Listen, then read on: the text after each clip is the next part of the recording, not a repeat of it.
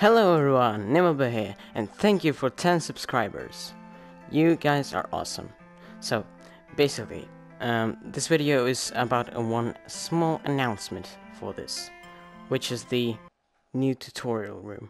As you can see, I used here, like, uh, the from the old tutorial, I used here the columns, uh, torches, but without campfires because they take too much ink, and trees. So, like, yeah, to let it look uh, more comfortable. And I used actually only about 11% ink. Yes, they're all, they're all environment, and so you can just like climb on them. Wait, here, climb on them. Like, yeah.